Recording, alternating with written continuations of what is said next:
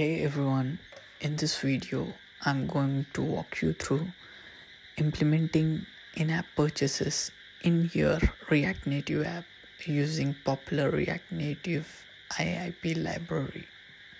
First let's start by installing the necessary dependencies.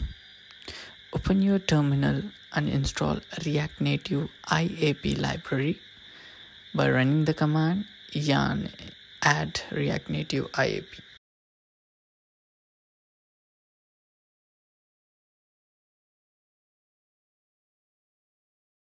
Once we install React Native IAP library, run the command cd ios and then pod install.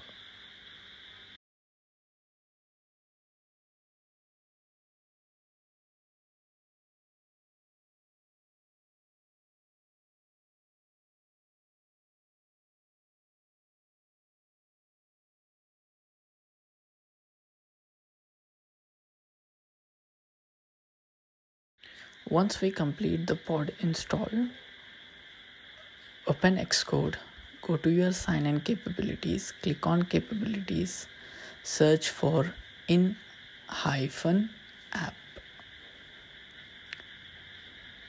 Then double click on this in app purchases and this will get added here.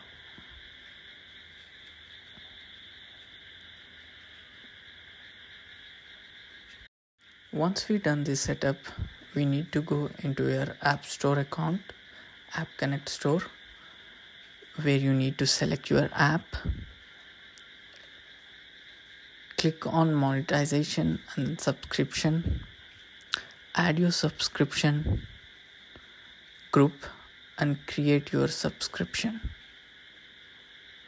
By giving the name and giving the unique product id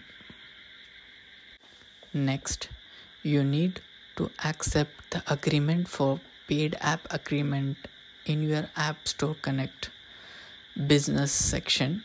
Next go to your screen where you want to add the subscription payment. On the pay button we will be uh, buying the subscription. Import this react native iap into your screen. Next add two functions. In-app get subscription in-app buy subscription. Before calling in-app buy subscription we need to call in-app get subscription to get all the subscription. And on the pay button we need to call in-app buy subscription where you need to send the product id and then request subscription uh, which is a react native iap function. Once we are done with the code we'll test this on our real device where we click on the payment button. And this will redirect to sandbox testing account where you can pay your amount. Sign in into apple id then you can complete the payment